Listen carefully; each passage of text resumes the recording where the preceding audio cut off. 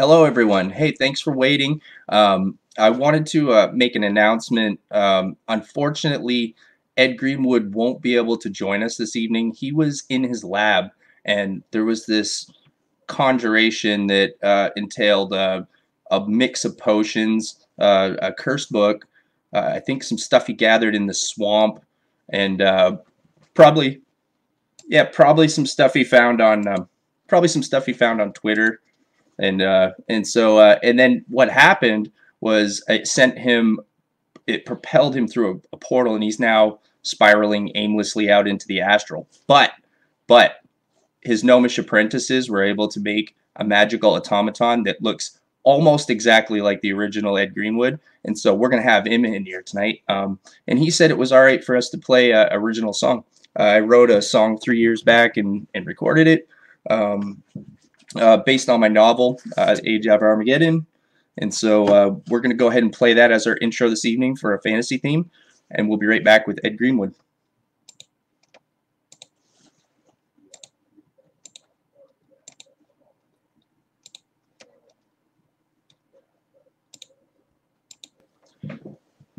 This is the folk song Warrior Kings. Um, it's written from the writings of the Age of Armageddon novel and the upcoming comic series, Hayward Saints 8 Federal Offensive Responders. This is going to be a model for the melody and, uh, and the lyrics, and so um, we're just going to do a run through keep it loose. Um, and so here it is.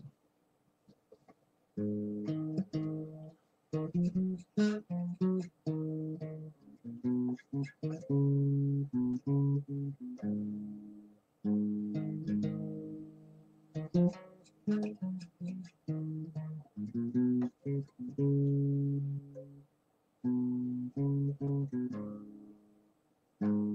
you.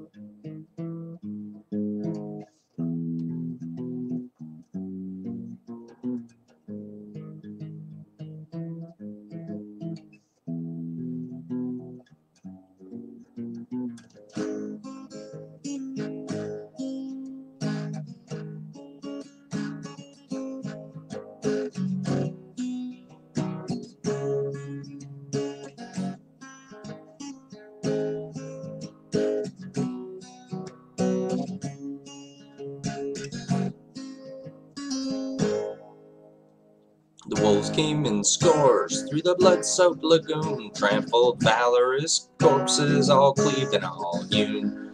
They growled viciously, and before we ran them through, we smiled playfully as we howled at their moon. Don't cry for me, dry your eyes, my darling. I'll slay them all, then I'll ride home to you. We warrior kings will survive, my darling. We'll drink to life, then I'll ride home to you. Conceived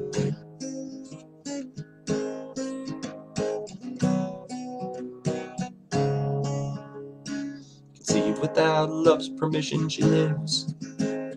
Mocking noble Cupid, who weeps upon his full quiver, an involuntary tithe in troubled time yields nigh. The angels cried, the spirits shine, no shadow would survive.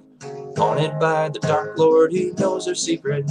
Can a flicker of lightning, light eternal darkness and tried to hide from his burning eyes to our dismay. A flicker was all he needed to find us. We warrior kings will survive, my darling. I'll slay them all, then I'll ride home to you.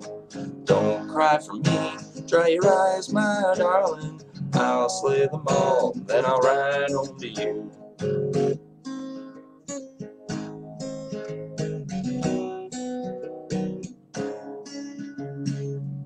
Day of demons, earth will kneel in evil's flame. Forges angry steel. Clash teeth gnash wicked hearts of greed his needs. Dark pack the means fulfill ambitious deals. Prey upon the sad and weak, a bloody path is shown. Demons speak, a soul to seek, and reaping what is sown. Spirit chain scrape remains, what lies amidst the ashy stones, the moans of those whose bones alone were spared to build his throne. Don't cry for me, dry your eyes, my darling. We'll drink to life, then we'll ride home to you. We warrior kings will survive, my darling. I'll slay them all, then I'll ride home to you.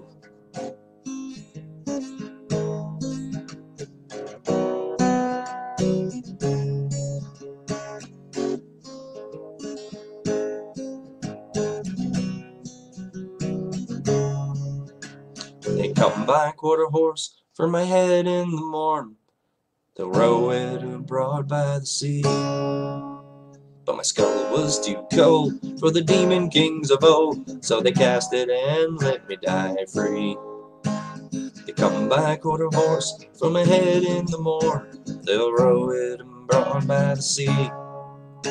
But my skull was too cold for the demon kings of old, so they cast it and let me die free. They cast it and let me die free. So they cast it and let me die free. Yeah. Don't cry for me, dry your eyes, my darling. We'll slay them all, then we'll ride home to you. We warrior kings will survive, my darling. We'll drink to life, then we'll ride home to you.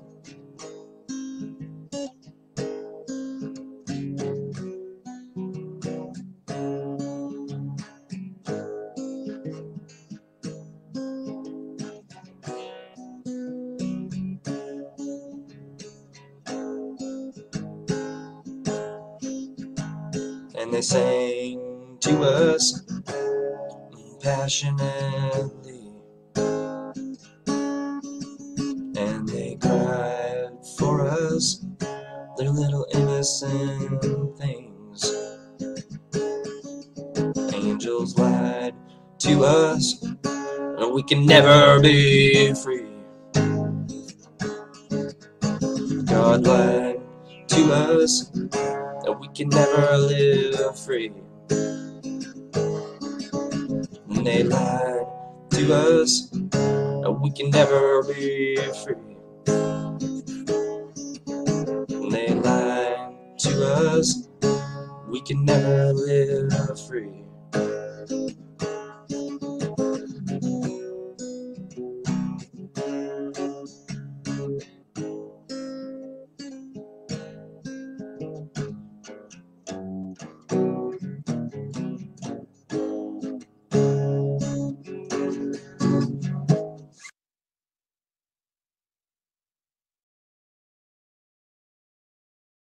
Hey, all right, everybody. Thanks for waiting.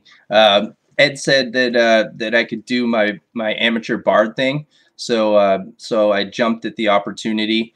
And so uh, you know, if you like the song, great. If you didn't, uh, just realize that I'm a jack of all trades and master of none, as you all know. And so I would like to, uh, without further ado, bring the great Ed Greenwood.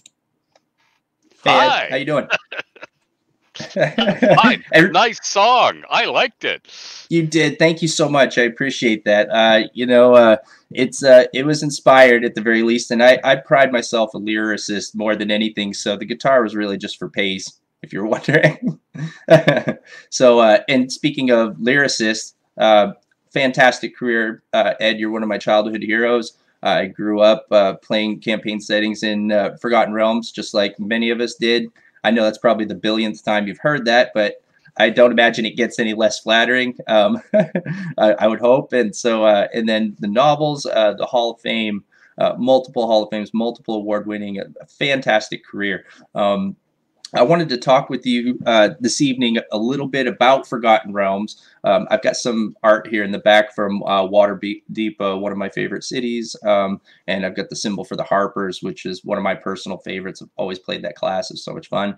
Um, but uh, you know, when you started out, what was your what was your overall favorite aspect of like as far as the areas like the Waterdeep area? You got the Sword Coast, you've got uh, the Underdark. Like, if you had to pick one now, looking back on it, what would you say your favorite as far as playing and writing it?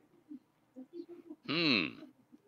Well, I, I, I mean, I started the realms before there was anything called D and D, about ten years before D and D. So it was just a setting for my stories, and it started with Mert the Moneylender, and Mert the Moneylender was swindling his way along the Sword Coast from the north to the south until he hit Waterdeep, and he, Waterdeep was big enough for him to hide in for a little bit.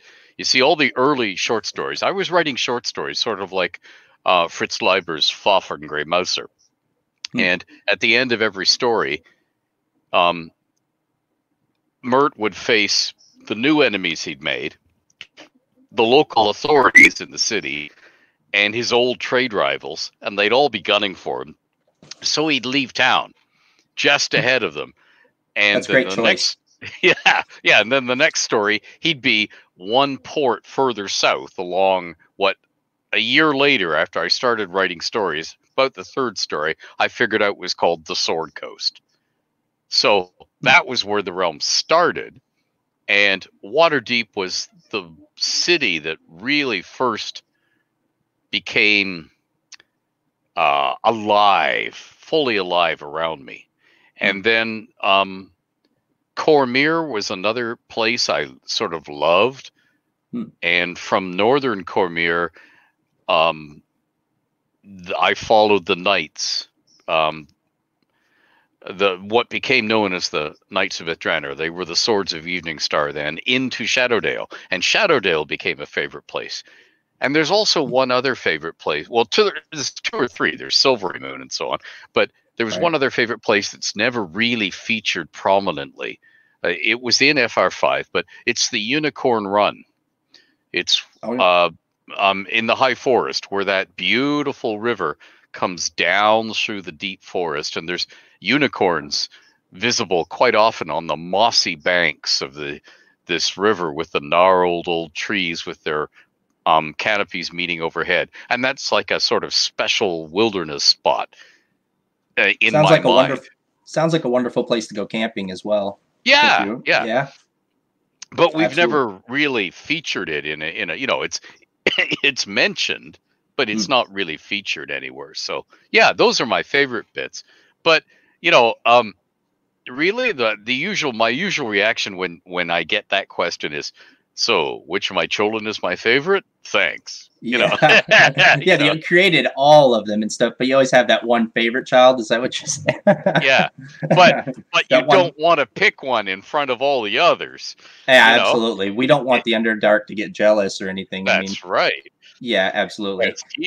right. And that was always interesting to me as well. Like I love Forgotten Realms setting and the like you said you you mentioned the uh, the forest and those um, magical uh, areas and the rangers that would uh, patrol them. And then the cities, of course, were bustling and full of mercenaries and full of thieves looking for coin. And, and like everything was so well done, obviously. But I enjoyed the Underdark. I love the monsters of it. And I love the, the, I tend to go towards the darker stuff. I like Ravenloft as well, which when we spoke the other day, uh, you mentioned that you contributed to, which somehow mm-hmm. I missed that as a kid because those just happened to be my two favorite campaign settings. Uh, and so like but i tend to like those kind of darker stories um, i think it's because i started early in horror mm-hmm. and i i automatically um, associated being scared with villains you know what i mean mm-hmm. villains were always so much more uh, exciting for me when they were scary and so yeah. all those settings in those areas where there was where you feel that danger and you see that you can see the horror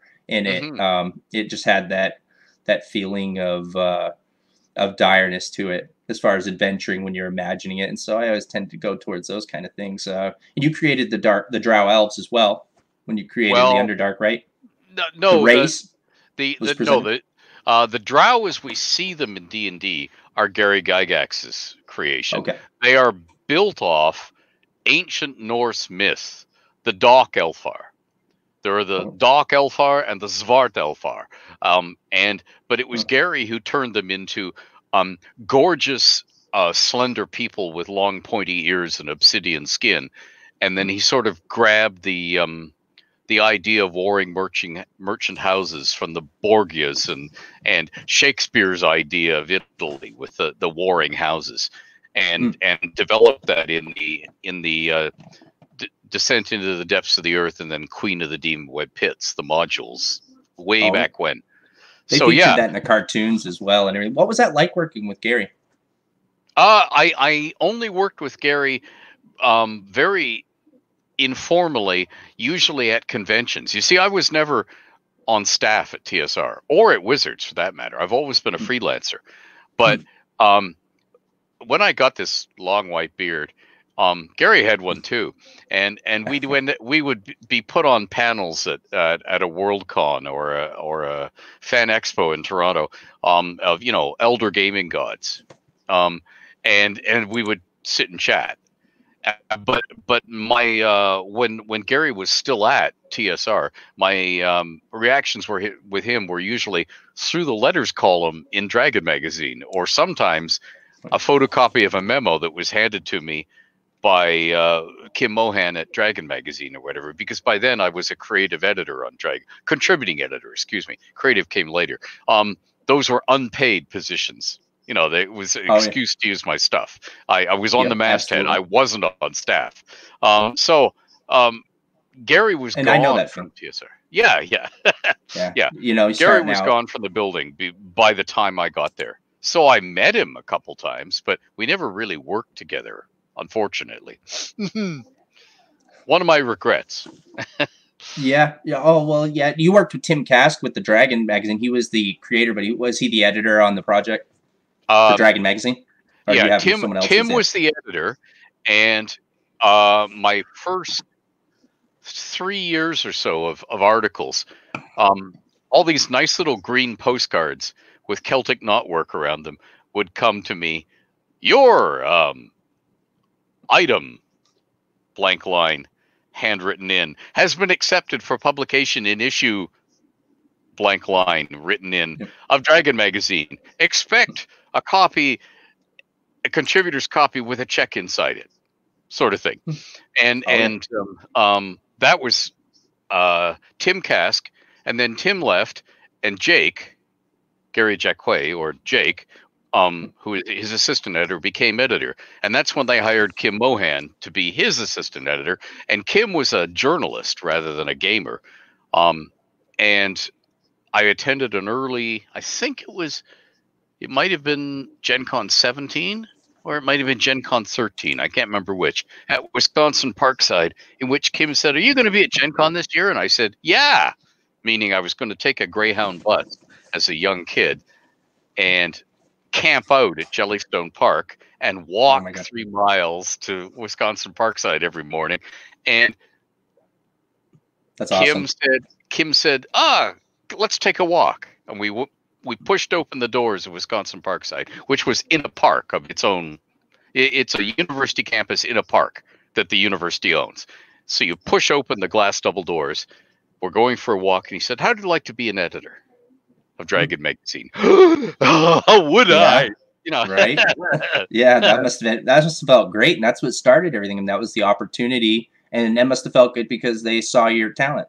You know, at that moment, those victories when you're starting out, oh yeah, absolutely, those little victories are great. Uh, you know, even someone like obviously, like I'm still trying to punch through, but you know, the people that did buy my book, if someone comes by and says, you know, they enjoyed it, I had oh, I had one lady come back to me and say their husband, she bought it, she said, quote, my husband likes that kind of shit, and then she took it home and and sh- I met I saw her later at another show I was doing here local and she said he loved it so much he read it twice and that was you know obviously I'm not making a lot of money off of that but those compliments like that are are those little victories when you're starting out that you hold on to and you keep pushing forward. Um, and I also wanted to add too you mentioned earlier that you guys grew your white beards. Um, I'm a little embarrassed because I think we agreed that we were going to shave for tonight and uh, and you obviously didn't so but that's all right I mean I shave some part of me.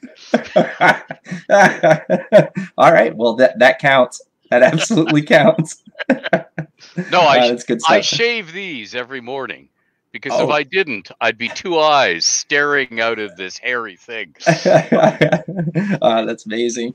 And and you know there are people in Canada with guns, and you know soon it'll be hunting season, and I don't want to be mistaken for something. You, know? You don't want to be mistaken for Papa Bigfoot this time of year, especially with the COVID. Everybody's trigger happy. Uh, you know, you have to be careful. Can't be Mm-hmm. Yeah. too careful. Absolutely. And so so, here uh, I am, my slim, svelte, revealed self. oh, so good. Uh, you um you created El- Elminster as well. People have asked you many questions about him. They probably asked you how you created him, the uh, you know what the inspiration was for him and everything. Uh, I'm sure you've heard it all. Uh, but uh, you know, writing all of those novels, obviously you were invested into the character. He started out as a character that you gamed with, obviously. You must have Uh, started out. You played him first. You just created Nope. him for the Mhm. campaign setting. There- Really? There was no role playing games when I created the realms. Um, D and D came along ten years later. D and D Wow. and Tunnels and Trolls came along. Um, well, okay. I was writing realm stories in 1965. I didn't know they were realm stories. I was writing realm stories that I knew were set in the Forgotten Realms by 1966. D and D started in 1974, but only if you were in college in Wisconsin or New Gary. Hmm. The rest of the world didn't see D and D till 1975, and It's amazing. I didn't start playing regularly until 78 when the um, Player's Handbook came out and joined the Monster Manual. Because when the original three booklets came out, my gaming group bought them, like Mm. my group of friends and so on, because we played a large military war games and sand table games. And we read them and said, This is really cool. And read through the booklets and said, Oh, it's just going to devolve into an argument. Nice try but I mean, there's not, there's not enough rules there. And then during the intervening years, they brought out Greyhawk, Blackmoor, Eldritch Wizardry, and we started saying, "Hey, this is getting really cool. I love these, you know, these magic bubbles and this beholder thing. Oh, this is really cool. Oh, you know, yeah. um, Right. but when the player's handbook joined the monster manual we said this is jack vance's magic system beautifully laid out. Then i immediately converted the realms to match d&d because i said look somebody has done the skeleton for me now. All the monsters are balanced and i know exactly what they do. Um, all the spells i know exactly what they do. So the magic user can't be a god in the machine the you know the wizard can't just rescue everything. He can't invent something out of his behind. These are what the spells can do and they're fire and forget. You me- you memorize them with great effort. When you cast them they're gone from your brain. You can't use it again. So oh th- this this puts play balance realism into the realms. And in the same way that if i was don pendleton which i've never been writing executioner books which i've never done um, the smart thing to do is to plan the gunfights so you don't fire a something that has 21 rounds in its magazine 48 times before you reload you know you should right. Yeah. you should sort be of- a rhyme or reason. Everything Yeah. is a rule set.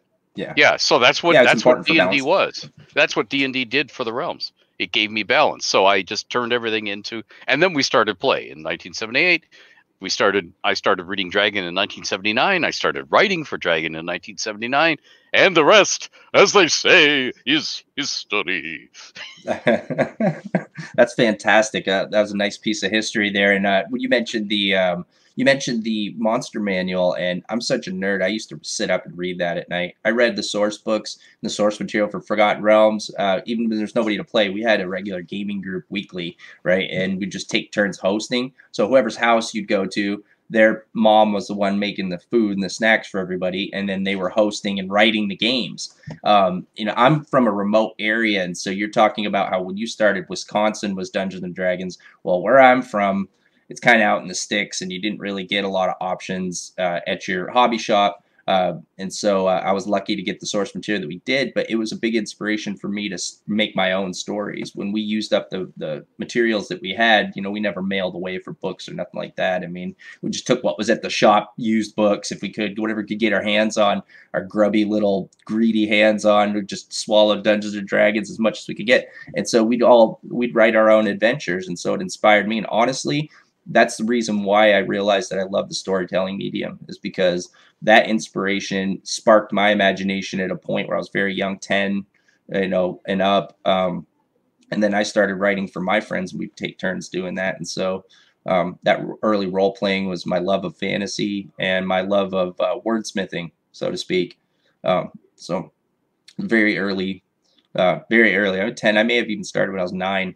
We used to play. It was funny. We uh, I was in Boy Scouts and we used to play. We'd go on camping trips. It'd drive my dad crazy, but my dad was very cool. He was very cool, but we'd go on these camping trips and we always sneak our Dungeons and Dragons books and our dice bags and our camping packs, and then everybody would be making s'mores or doing something around the fire, and we'd be sitting by a lantern light and be playing Dungeons and Dragons out at night, you know, under the stars, whatever we could sit on and play, tents we'd set up and drive my dad nuts. He's like, "Man, we're out here. We got the stars and all this stuff. You guys get your nose in a book, you know." But um, you know, yeah, I'm older. There was no D and D when I used to go camping. We used to tell ghost stories and scare the pants off each other. Yeah, right. Yeah, and essentially we were telling stories, but they were Dungeons and Dragons stories. And uh, but but I think it was uh, it was nice that my dad encouraged it. My dad was a little bit of a nerd as well, so uh, he was a Trekkie before Trek being a Trekkie was cool. Nice. Mm. Yep, and so he's a big fan of original Star Trek series, and he was an avid Marvel collector.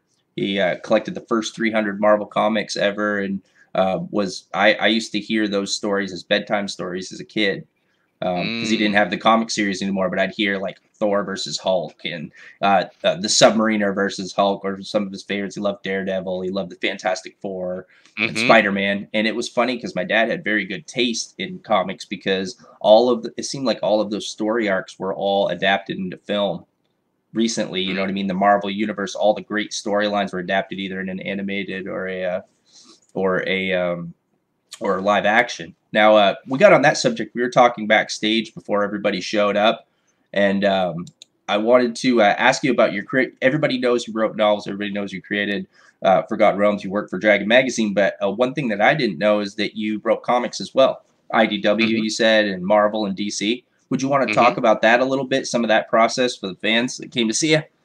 Sure. Okay. Well, IDW is the most recent one, and that was a Forgotten Realms uh, series, short-lived.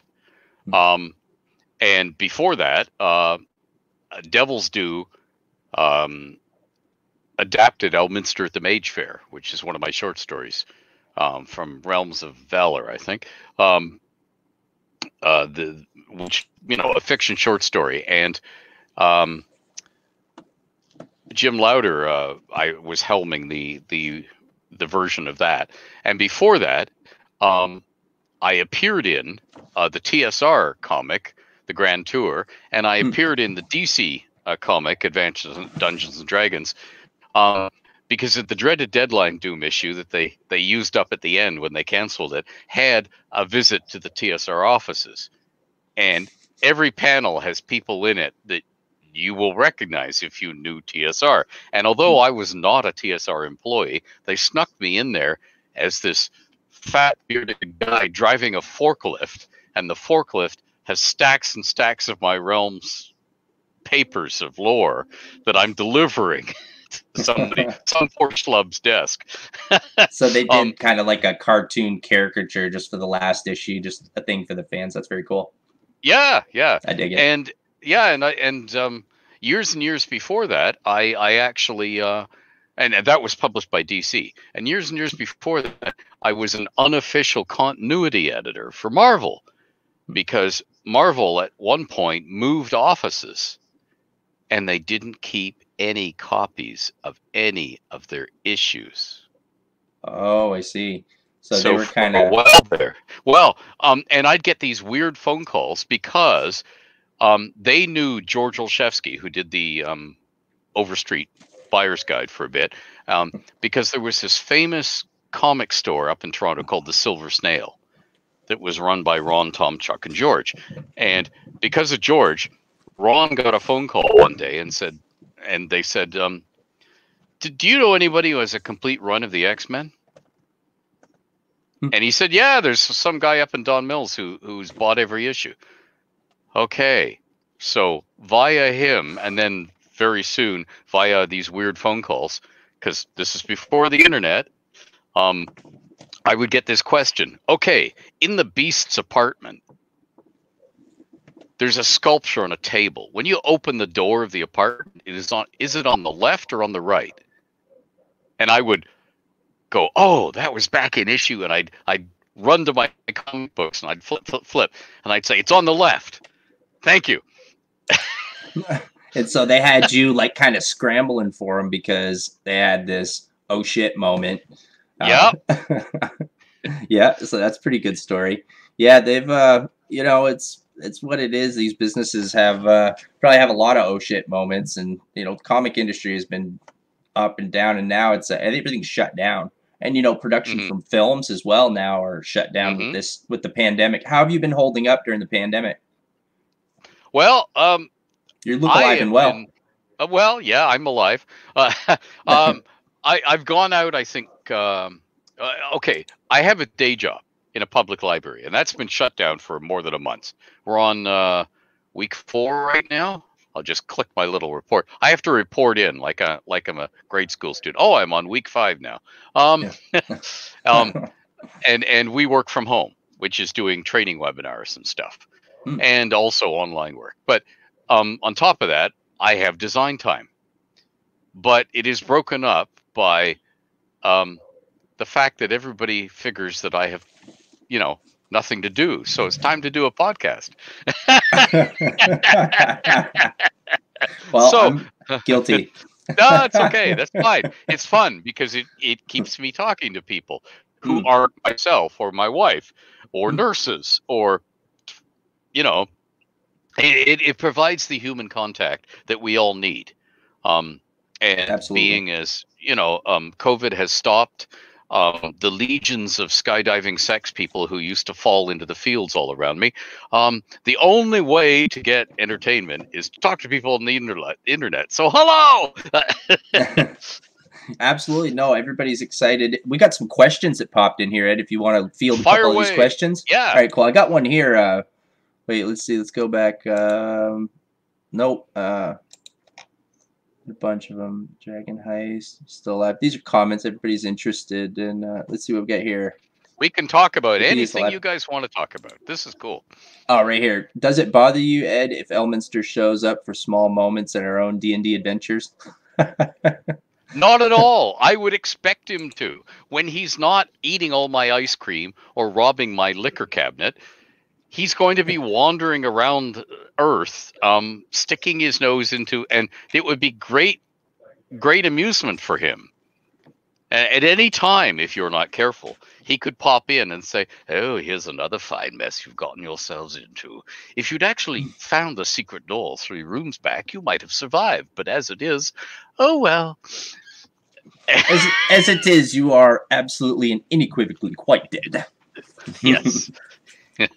Ah, so much fun. Yeah, the the role playing side of it, I think that was the best part of it with writing is playing out the characters. You try to, um, especially when you're younger too. It's so free in your imagination. Um, it's been a while since I've been in a gaming group, but I had a good gaming group. The last uh, crowd that we were in, they, I think they were doing a steampunk. Have you ever? Uh, what other things outside of the fantasy realm have you uh, taken an interest in written?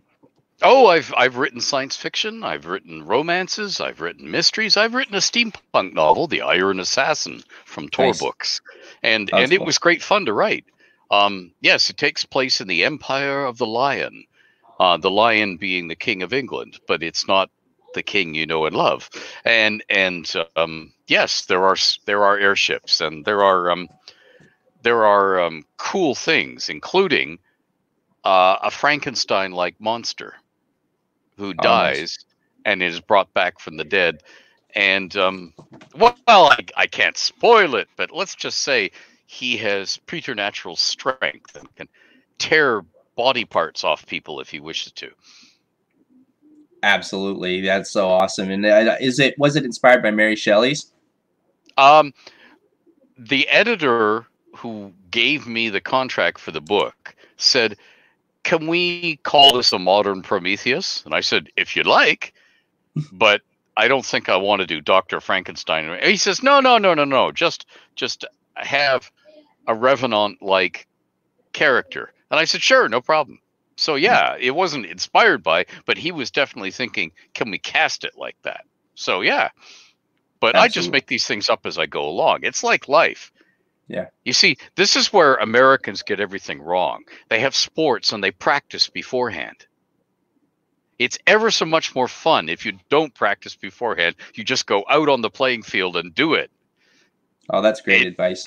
You do just have to go for it. No, that's absolutely right. I, I uh, when I started, uh, it was just one of those things where I was just winging it. I mean, I didn't have any experience. That book that I was talking about that I'm so proud of, I did that myself. That was just a passion project. I didn't even expect to publish it. I wrote that all in notebooks that I still have, and and then when I finished it, I I enjoyed it, and I was like, well, why don't I publish it? I could self-publish it, and then I could say I wrote a book, you know. And yeah. it just started this whole cascade of things. And if I would have walked out of there was a movie theater actually, I watched a movie, and I remember and it's a it's a forgettable movie.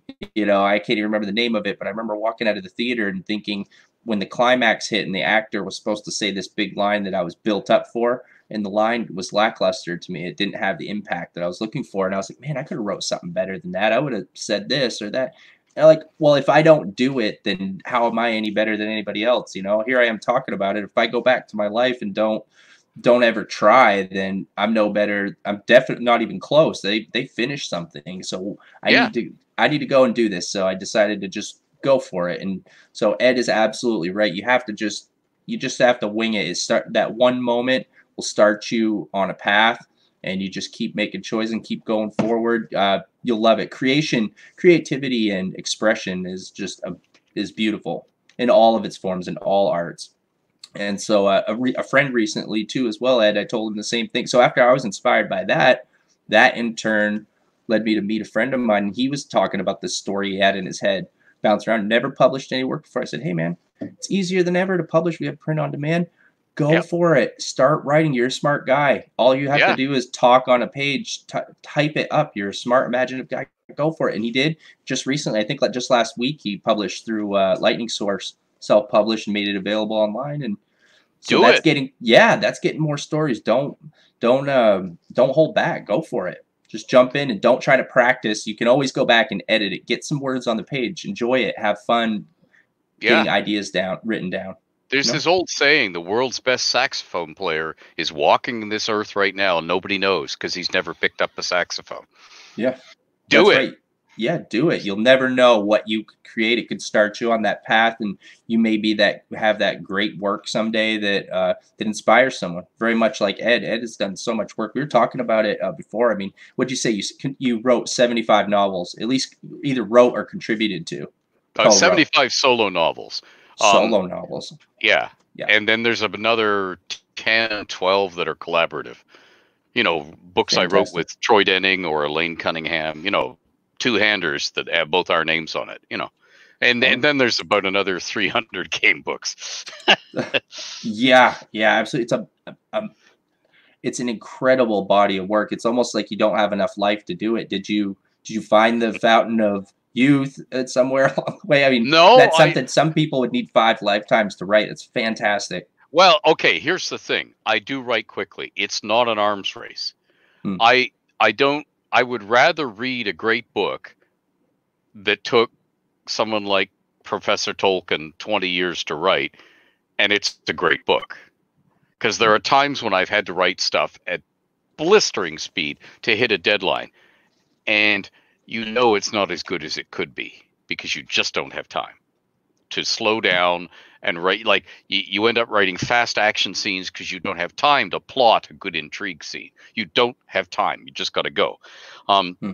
so i would rather people take the time and turn out stuff that they are happy with the result and enjoyed the process. So hmm. you know um, i happen to write quickly. That's how come i can get through that much stuff. But you know although whenever t- whenever an author dies, and I know there's not going to be any more books in a series, I am sad. Hmm. I can reread the really good ones that I love and enjoy, and be so happy they got them done.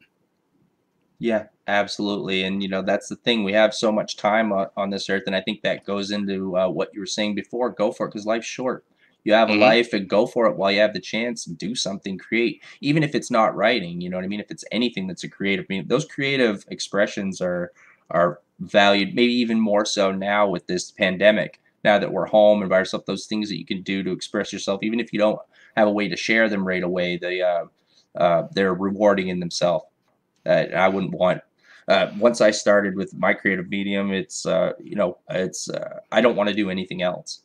You know yeah. what I mean? Obviously, I want to do the normal life stuff, but you know, yeah. Uh, to to paraphrase Gandalf, what matters mm-hmm. is what you do with the time you are given. Yeah, that's right. While you got it, go for it. and especially now, I've been telling a lot of people. Uh, uh, people that I've talked to, I, I heard some people wanting to publish, but they're like, oh no, it's kind of not a good time with the pandemic, uh, with COVID. It's not. Uh, this is a great time to to publish and make things available online and do content online because, like you said, this is a time for uh, human contact, doing uh, doing shows and, and, live podcasts, but also uh, you know publishing work, making it available. People want content. They might yeah, want a good book to read. If you're going to wait for the best time, it will never come. There will never be a best time. That's right. There's always something with life. It's always struggle, and there's another trick. There's another trick that I learned from TSR because hmm. there were so many designers at TSR who just wanted to tweak something. Oh, it's not quite ready. I just want to tweak it. And Bruce Heard's job at TSR when he wasn't being acquisitions manager and dealing with freelancers, outsiders like me, was to march into somebody's cubicle upstairs in designer land and say, Hello, production is waiting for such and such. I know you just want to tweak it, but I'm here to rip it from your cold, dead hands.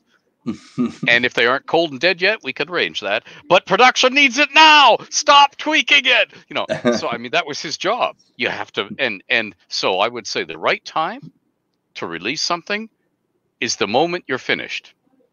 Read hmm. through it, catch all the spelling mistakes, read through it again. Is there anything that you're really unhappy with? And if there isn't, if it's, yeah, if you think it's okay, put it out there and move on to the next thing. Kick it out of the nest. Because otherwise, 20 years from now, there will be this novel you never published because the time wasn't right or you you were just waiting to draw a cover or something Get it out there. We want to read it. We're greedy readers. All of us are greedy readers. We right. we can never know how brilliant you are, and we can never make you rich beyond the dreams of avarice if you don't put that novel out there for us to buy, or comic book, or graphic novel, or um, stage play, or epic poem in Sanskrit uh, or cuneiform. Put it out there. Absolutely, you heard it Ed Greenwood told you to get off your butt and go make something. Go make something happen. So um, that's great advice. I agree. Uh, uh, you know, the worst thing I ever did was hesitate on anything. You always pull the trigger, go for it. Um, you can always go back, like you said, and tweak it, but uh, you know, don't sit on those ideas. You know, if you if you feel like you can do something to contribute to entertainment you love, why not do it? That's the point of it is to inspire, and and that's happened since the beginning of time, since people were scribbling uh, on cave walls. You know, they would do writings and inspires later generations, and it's passed on, and that's how we we get these creative mediums. So uh, every piece that contributes has an opportunity to inspire somebody else, and so that's kind of what I love about it. I like the idea of sharing. I'm not in it for the money. Like I never mm-hmm. really cared about mo- if I want money, it's because I want to uh, I want to facilitate doing it more.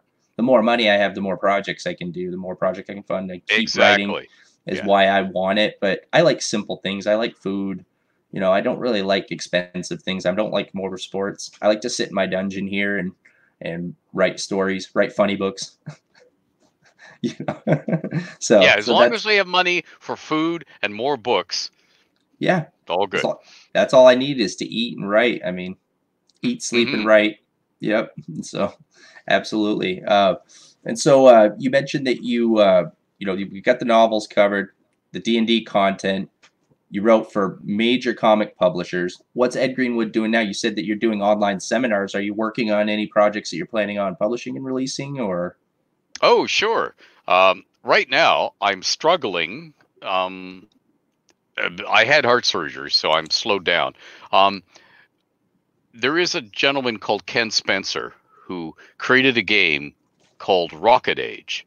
And Rocket Age used to be published by Cubicle 7. Um, its designer, Ken Spencer, now has the rights back and is publishing it himself with Why Not Games. And he did a Kickstarter, and I was one of the goals. So I have to finish um, Bold Brigands of the Belt, um, who are pirates who live in the asteroid belt in our solar system. Because Rocket Age is one of those lovely pulp science fiction things where you put glass globes on your head and go out in space with ray guns. Okay, so oh, that's cool. I am so writing that. Fiction. Yeah, that's science fiction. I have just finished a novel for Fate of the Norns, which is ancient Norse role playing. um, done by a Canadian publisher, um, Pendelhaven, which is Andrew Valkauskas, who created this lovely game called Fate of the Norns, uh, where you play Vikings in ancient times. And the game mechanic, you cast runes. You actually weird or throw rune tiles down to decide on how game outcomes. And I've written a novel called The One-Eyed King. When in real life history, the Vikings conquered Dublin way back when, when it was called Athcliath, and they ruled it for about seven years before they got pushed out again. Well, this novel is set at the time when a Viking king, and he's a one-eyed king because he sacrificed to Odin when he was a teenager. Odin has one eye. Hmm. So this teenager ripped out his own right eye and threw it in the fire as a blot or sacrifice to Odin. So he's the one eyed king. And it's a story of a bunch of people who come to Athcliath, and maybe some of them are there to kill the king. And it's oh, what happens. So oh, uh, cool. there's going to be a Kickstarter, and then that's going to come out. And I'm probably going to do some game stuff with Andrew to support it. And I'm also going to write a modern horror novel. Um, as part of a, a group of people who are writing um, in a, in their own shared universe in our modern world, hauntings and ghosts. And I shouldn't say anything more about that until it's ready to. But yeah, uh, and I've got it. yeah, I got tons of projects on the go.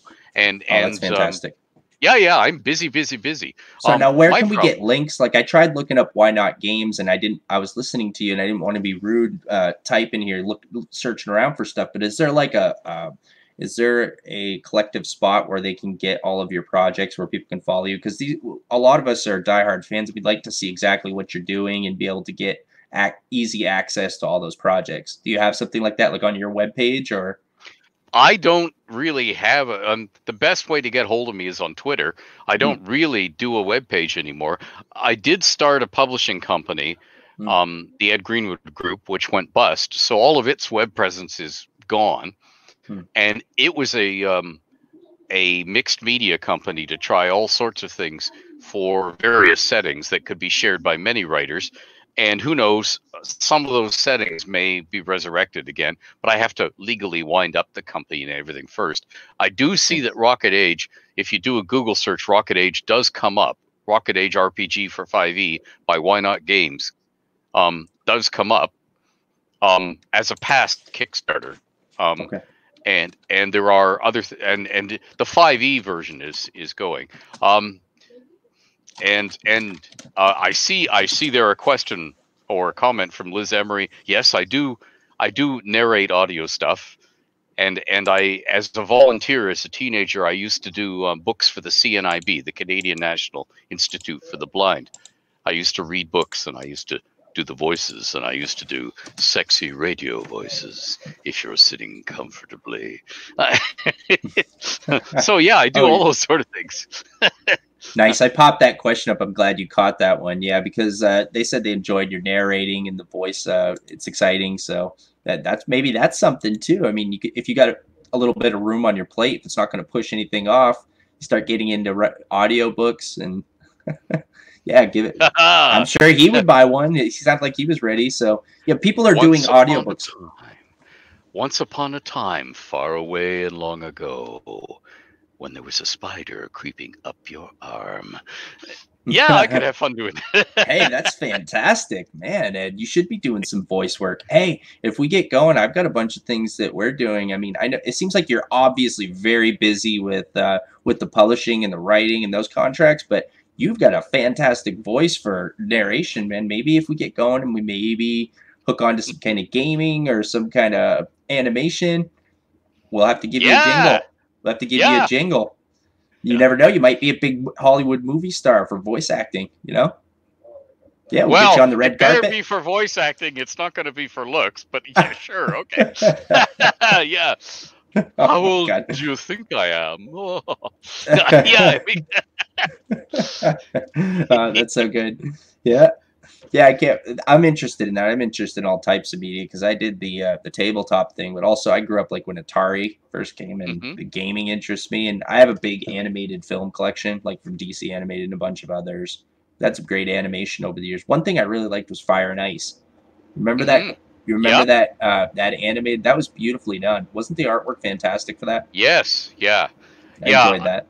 I, I grew up, unfortunately, in the era of really bad Saturday morning cartoon animation, where all the all the characters are absolutely motionless, and then you hear whoosh, and then a character turns his head, and, and that's it. Just You know, quickly and yeah, yeah, yeah. So Oh, could yeah. they could redraw three three frames, you know? So, Yeah, and they're pretty good now. They can use CGI, like uh, computer Yeah. generated, and um, oh, I've got a question here for you, Ed. Uh, Robert Yeah. D says, uh, "Who is the official gatekeeper now of Forgotten Realms?" Well, uh, Wizards of the Coast is the copyright owner of the Forgotten Realms. The head of story at Wizards of the Coast is Chris Perkins, a transplanted Canadian and a great guy. Um, and he writes these mega adventures like Storm King's Thunder and Waterdeep Dragon Heist. And in that way, he um, shepherds the Forgotten Realms forward. Now, uh, the head of rules for D and D, the the answer guy for rules is Jeremy, um, but uh, Jeremy Crawford, uh, and I don't know what their official titles are, but what it works out to is the guy who's helming the stories set in the Forgotten Realms is Chris Perkins. Now, um, the my original contract with TSR, which is what Wizards inherited, that's the only reason that they have the rights to do um, Forgotten Realms is because they inherited it from TSR. Anything I write about the realms is canon. If I talk about the realms, if I say something, if I write something, it's canon until it's superseded by something official. Hmm. Like if Wizards contradicts something I says the next day, Wizards is right. The the most recent published thing that is official is canon. But until then, anything that I say or write is canon. That's the way the, the agreement has always been. Oh wow! So um, Chris Perkins is the gatekeeper. Hmm. And I'm the guy who opens the gate and blabbers something at you until he keeps it. so what you're gonna say is you are the valiant paladin that kicks the gate in and comes in headlong into the fray. Is what you're saying? Yes. Yeah. And and I knew. and I understood. and Chris is the guy who comes along and says, "Oh, oh, that's the horse of a different color," and closes the gate again. That's good stuff. Uh, I love. Uh, oh, that reminds me of something else I wanted to talk about on the writing side of it is uh, creative freedom. You talk about people who are gatekeeping. Uh, you know, not necessarily that, but you know, editors, people who have creative control. Then you're right. You know, the difference between writing for somebody else and writing something that you want to write specifically with no interference. Uh, you have written a lot of content, so I'm gonna go ahead and make my prediction. I think that you like having the creative freedom, uh, but I'll go ahead and wait for your answer first. Yeah, I love having Always creative freedom. Yeah. Um, now, uh, when I'm writing a Realms novel. I always ask, and if you look at the last Realms novel I did, Death Masks, um, there was a shopping list of things there in the novel that I was asked to mention or highlight or or allude to.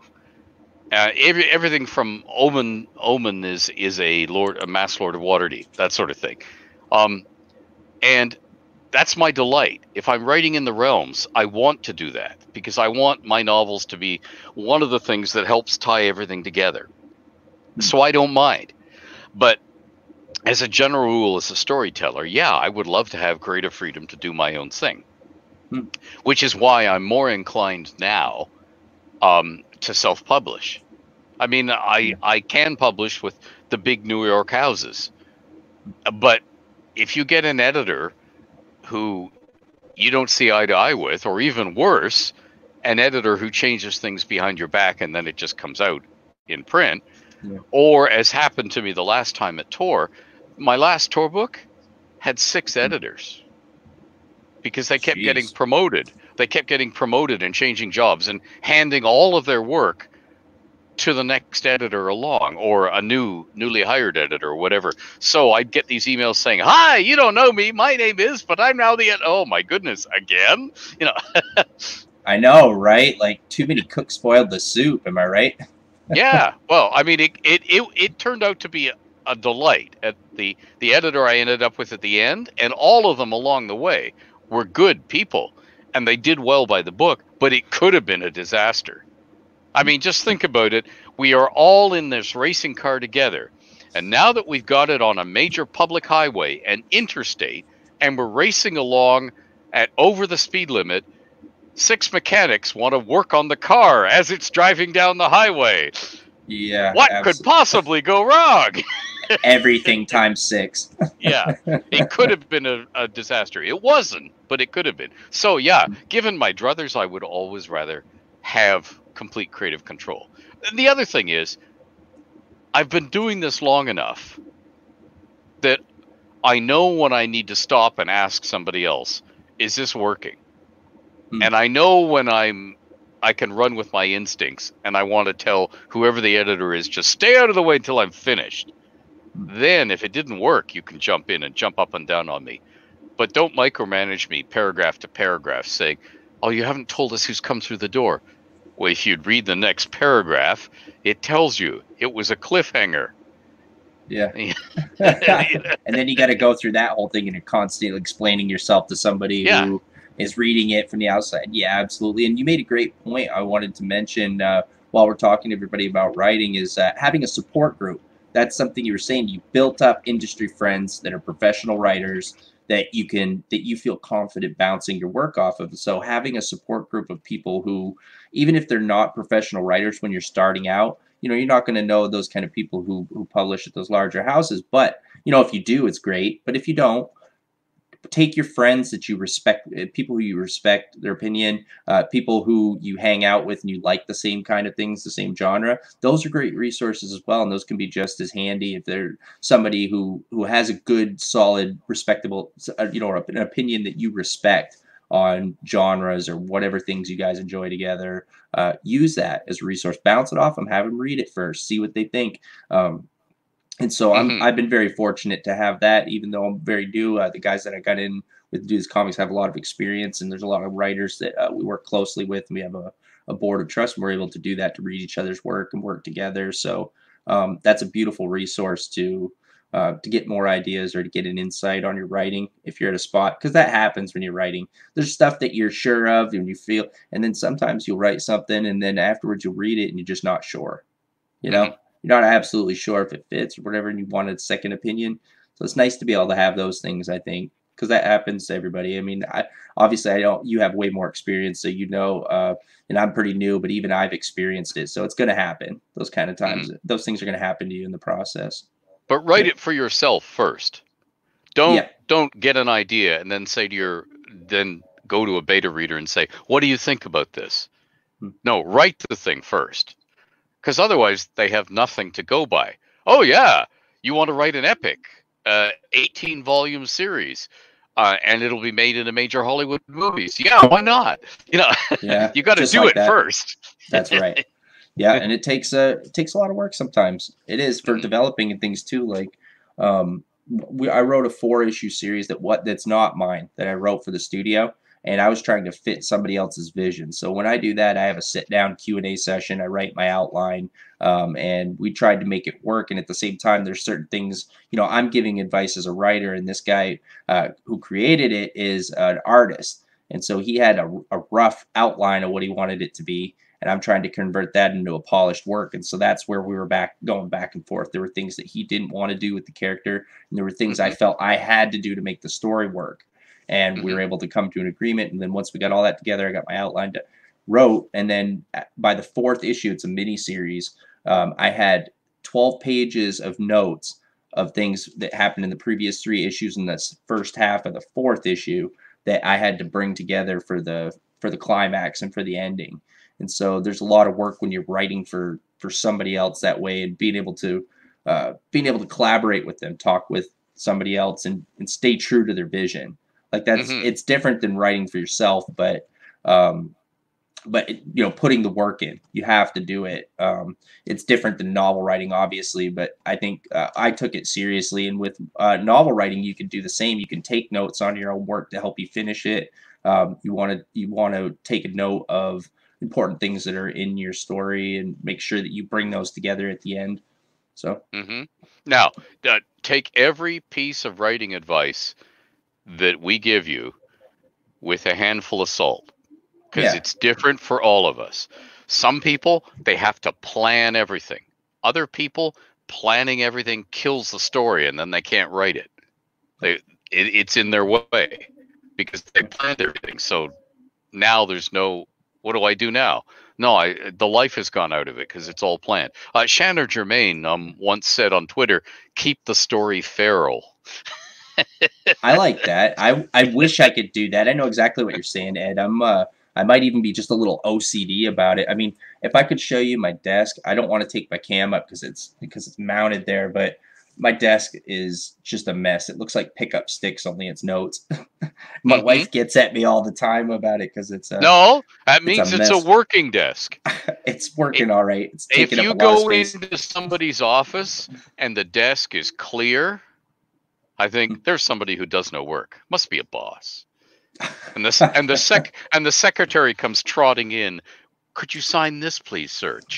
Can you sign this, please, sir? And their desk is clear. No, no, no, no. I want to see a desk that's piled high with crap because that tells me that's somebody who's working. They're oh, busy. Yeah, They're working. oh God, there's so much stuff. And then also there was the uh, the stuff for World of Game Design too. The last couple years I was working for uh, Jared, and so um, I know you guys were working over at the Old Guard Games side of things, and I was working. Uh, I was writing for Mythhorn, and I was doing Cthulhu Epics, and I was doing uh, Tankar's Tavern, mm-hmm. um, and I wrote some adventures for him at Tankar's Tavern. He liked it. I wrote the line uh, "Bless my beer-soaked beard," which isn't as good. it's not as good unless you read it as a Scottish dwarf. So I don't yes, think I can do it that good. Uh, dwarves always Scottish. Sigh. I know they always do that. I I can't help it. It's a stereotype. So I wrote that he was happy with it, and then uh, what ah, else we have? I bring news from a laird. We're gonna go through the through the new. Hand me a tankard. Who start? Hey, you would know better than me. Who started that? Who said that all dwarves were Scottish? Uh, it was around in the days of the early Apazines. There was a um Amateur Press Association magazine. So we're talking 1975, 1976. There was a guy who played all his dwarves as um uh as Scots, and mm. He would he would crib stuff from the Goon Show. Uh, the Goon Show had a um, one show was called the Terrible McCreaky Uprising of '76, and it, it had jokes in it like ah, it's Chisholm, Mick Chisholm, the steaming kilt. And and they'd say things like, We're gonna march north on the tower, meaning the Tower of London. And the guy would say, But but the tower's south of here. Right, we're gonna march right round the world and sneak up on them from behind. and it was full of little and so he used to put all those into his role playing a dwarf at the table. So oh, it's great. at least that old. it's at least that old, but that's a great story. That's a good starting point. As good a starting point as any. I'm good with that. And so, uh, so yeah, yeah, I was working over there with Jared. So I uh, knew you guys. I thought that was great. The pay was good, and I loved writing mm-hmm. from. I wrote, um, what was it, a, uh, a source book for Kickstarter for them for the Talak Mine. Mm-hmm. He was doing some 3D printing, and so I was fulfilling that. And there was a couple other stories. He had me do some adventure modules, which he worked with me, and uh, I learned how to do those there. I'd never done any adventure modules before I started working with Jared, so um, I thought that was great. I got to do some short stories. Uh, the short story I, I sent to you uh, mm-hmm. was actually one thing that it was unpublished, but it was a thing I sent to him uh, you know, early, early when I first started working for him, and then he start. I slowly got more work, but that was okay. You said you you sent it to me oh, in yeah. chat, but what about yeah. the, the the preview comic that I sent you to? Did you enjoy that? Sure, I enjoyed all of them. They all have the problem of, um, okay, if you or I are writing a James Bond mm-hmm. Uh, story, everybody mm-hmm. knows what a car is. Everybody knows what a gun is. Everybody knows what a telephone is. So right. if James Bond uses any of those things, you don't have to stop and explain what it is. That's right. in a fantasy or science fiction setting, there are so often things you have to explain. And if you're if you're bringing an entire setting in with intrigue, say, say you're doing a a, um, a medieval fantasy, and the king is elderly and somebody's trying to poison him and there's all this intrigue at court. You have to bring all those characters on. You have to explain what the kingdom is. You have to explain who the villain is and what the stakes are. It's a huge info dump. Yeah. info dumps at the beginning can be fatal. I i can think of only a few of them that have worked. Um 2010 the sequel to 2001 has a huge info dump at the beginning and it works and it's one of the very few that works because they managed to unfold the stakes of the story during the info dump. Hmm. And even though the story hinges on science, eh, you know, they're actually saying, "Have you checked the orbit?" You know, because the orbit of the, the the spacecraft has been, you know, oh, that's the plot point upon which that forces you to do the action. Uh, Hmm. We're doing science here, you know. Whereas usually you start like a James Bond would typically start with people shooting at each other while cars are racing somewhere, and you That's just right. plunge them into the action. And What's your favorite James Bond film? While you're talking, I don't want to do really too much. I, Di- I don't have one. Yeah, um, I like Diamonds. Diamonds are forever, probably with uh, with Sean Okay. Connery. It's very good. Yeah. Okay. You see, for me, I have favorite scenes, like Hmm. the in for Russia with Love, the the little scene with the uh, Oh yeah. the guy at the border. Um, Live and Let Die, the the scene where the, the wedding is going on and the boats go skipping through it. oh Um, yeah, that's true. yeah. yeah, that was Um, good. You only live twice. There were scenes too that at the beginning. I Yeah, like how he and- faked his death. Yeah, and Casino Royale, the the beginning scene that they they chopped from the the thingy where the cricket match is going on. The the the remake, the the second Casino Royale, not the David Niven one, um, the Daniel Craig one, and where they start with um, Bond in Prague cutting back and forth to the cricket match because that was just and then have the intro with the with the theme and everything because that was just like brilliant storytelling I mean, you you watch that and go, that is absolutely brilliant storytelling, and that is a perfect example of what we've just been talking about. How do you get somebody into the story and interested, and then force feed them all this information without making them go, oh, this is too much like being back at school in class. Yeah. Slam the book shut. I'll find something easier. Um, or right. when do we get to the sex scene? When do we get to the car chase? When do we get to the shootout? When do we get to where's my payoff? Because Sesame Street has affected everybody in North America. They want a quick payoff. That's right. They don't have the attention span. Whereas I can recall reading stuff in my father's library when I was a kid that I wasn't supposed to be reading. Hmm. You know, stuff with sex in it and stuff with people getting shot and so on. And it would be 10 pages of, I'm sorry, my lord, but I, I fear we're going to have to kill you now. Oh, why? Can't we have dinner first? Or may I may I sample that excellent whiskey before you shoot me? Hmm. Perhaps it would be Yeah. better if I taunted you for longer. And then it goes on for 10 pages and you're going, "Ah, it's it's Yeah. like the old British farce where there's a banana peel sitting in the middle of the stage and the audience knows it's there. And you keep waiting for someone to step on the ban- banana peel and they keep just to being about they're striding across the stage and just the phone rings and they turn or somebody opens a door and speaks to them and they turn and you're going Yeah.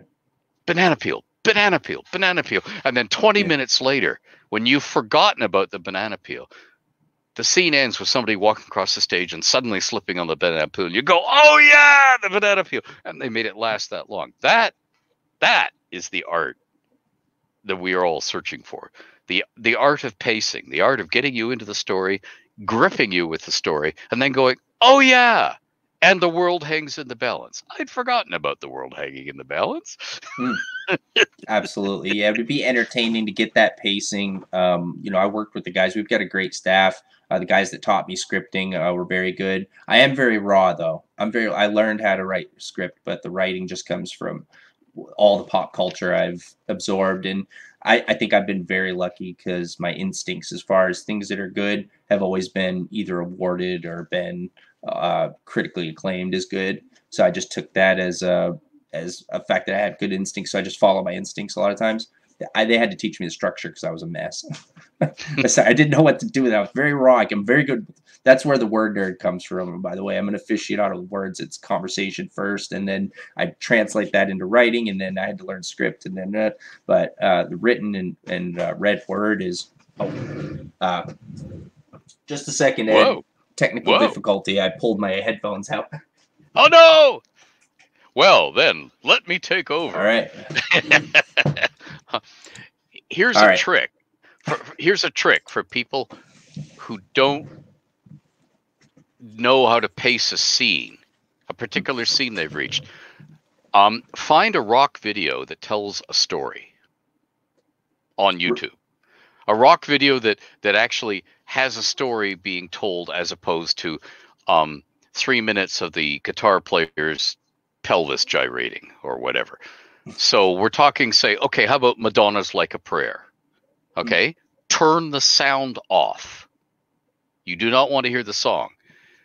And just watch the story, which has less than three minutes to tell a story with a beginning, middle, and an end.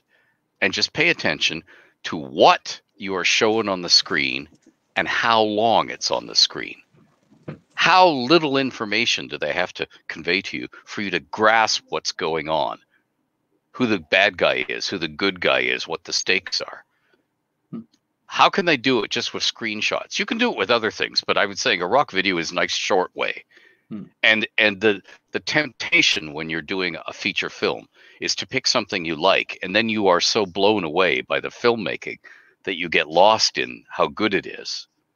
And of necessity, it's longer.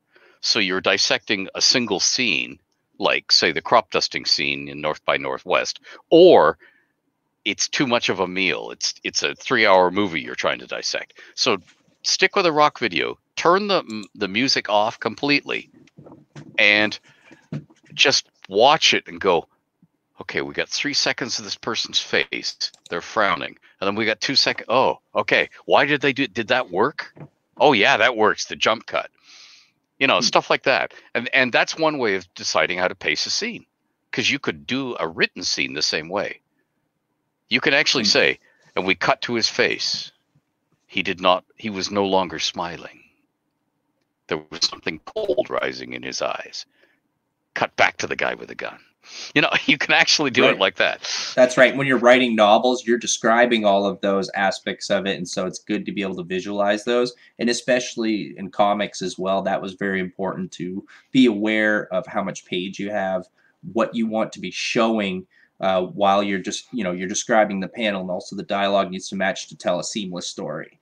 And so that's something mm-hmm. you want to be very aware of in any writing medium where you're writing, whether it's a comic book or a novel, to be able to visualize it and uh, make it relatable.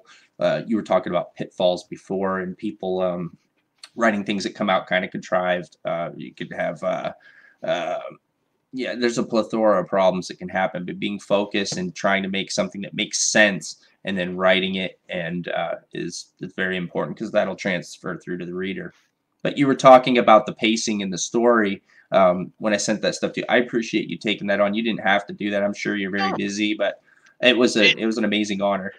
Thank I'm you. also a, a I'm also a greedy reader. You know, it's great when people send me stuff um, because oh. it's it's a new storyteller. It's a new voice. It's something else um, to read and consume, and and it's different because because it's a new voice. It's different. It's something. It, it's it's broadening my horizons. It's sort of like saying, "Oh yeah, a buffet.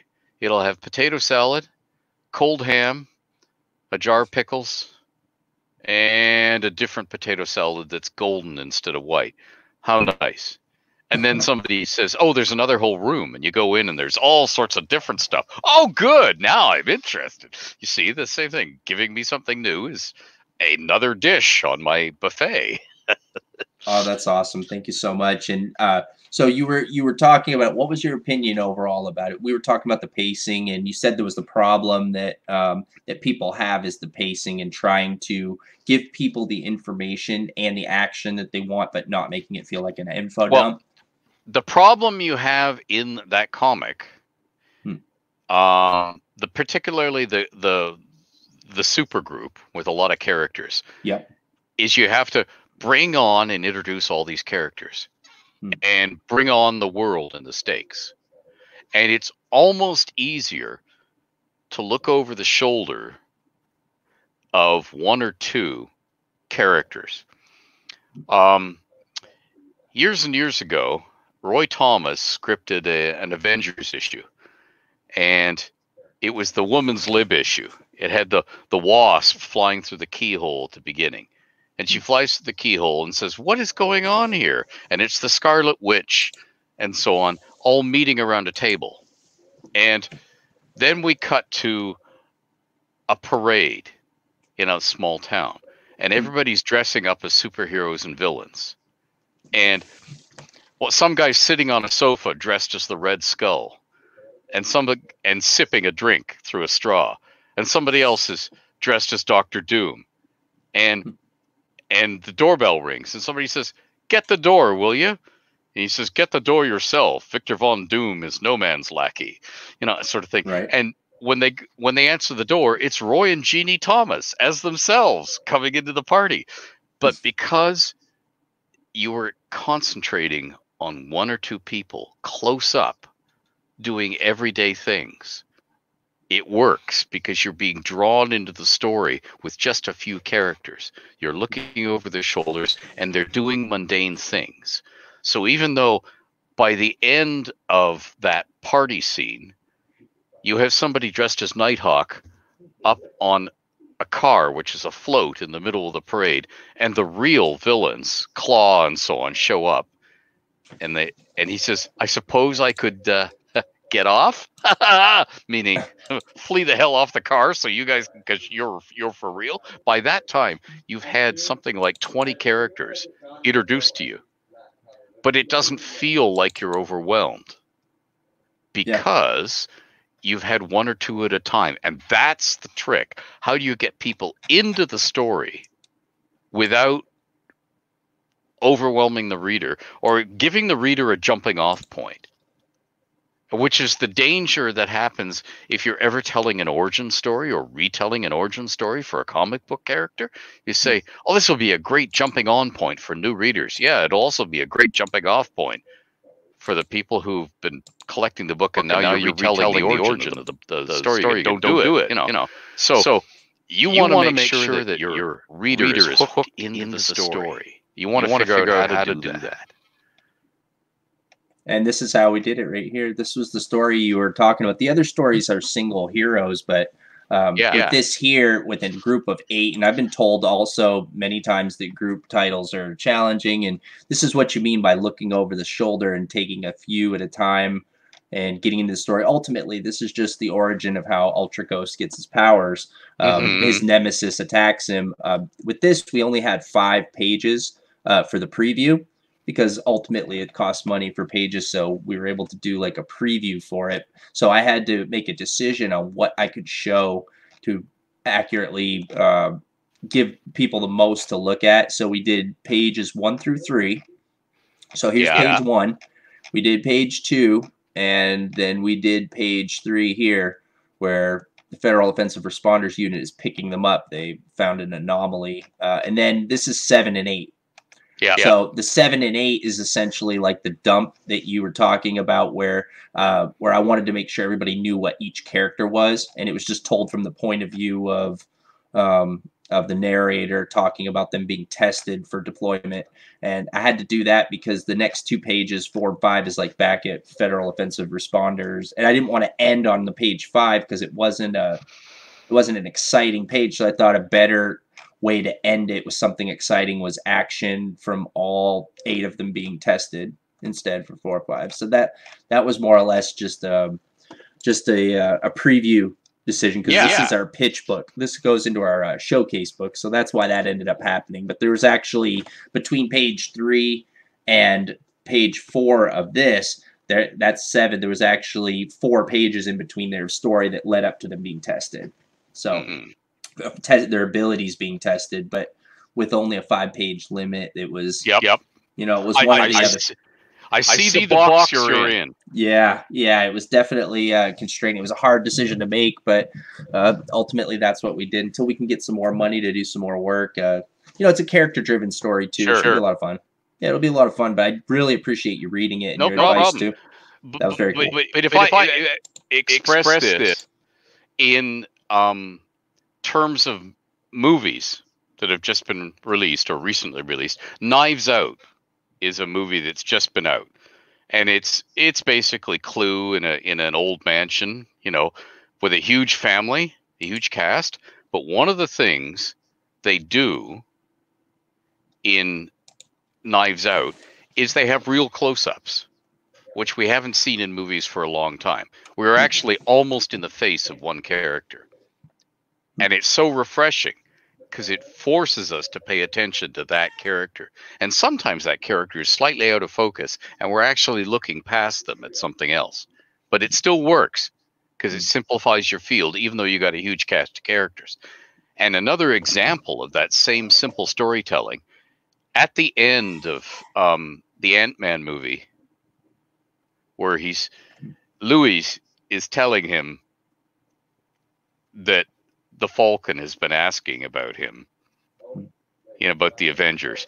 You know, there, there's a huge bunch of jump cuts there.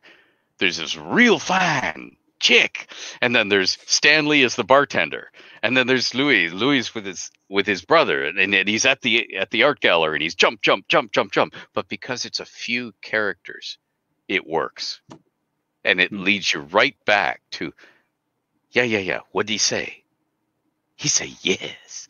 You know but you're it, it, it's a beautiful you see that's what you need to do. You need to engage the reader pull them in close so they don't feel overwhelmed by all the stuff that's going on. No i i realize what you're doing in that teaser you are forced to do what you did because you have to Right. tell the, the you have to you have to show the reader the stakes. You have to identify what everybody is. You have to tell them the setting. In five pages, definitely Yeah. was a challenge. Just because that's all I had money for. I couldn't afford Yeah. more artwork, so that's Yeah. what I had. but but if those of you who are out here who are telling novels beginning novels start simple um there's a colin forbes heights of zervos um war thingy ver- from years and years ago where they start in a snowy railway yard and the hero is getting stalked by an abwehr man with a gun who's go- there to kill him and he's he's hiding amongst the railway cars in the snow, meaning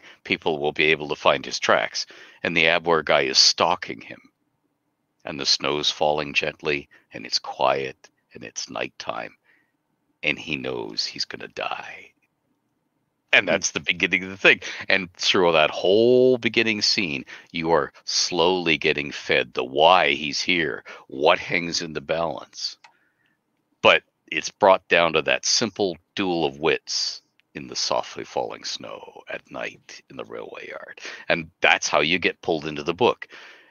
And it's it's you you you keep it simple. You know the old thing the teacher used to say keep it simple stupid. Kiss. You know keep it simple stupid. So you keep it simple. You keep the reader engaged on something that really matters. Hmm. and and I'll, I'll I'll tell you another one from a feature story years ago. There's a racing car driver up in Canada called Gilles Villeneuve. He was killed years and years ago in a in a car crash. But at the beginning, as a kid growing up in Quebec, he's racing way above the speed limit on rural roads that have all these uphill and down dale, so you can go over a blind hill. You know that's too steep, and you and he comes over the blind hill, and there's a cow in the middle of the road. And the feature writer who's telling this feature then cuts away from that cliffhanger and tells you the whole story of Gilles Villeneuve and how she thinks he's going to win the world championship, which he did. And at the very end of the four pages later in the magazine article, she says, And why do I believe this? Because the cow, you see, it was not touched.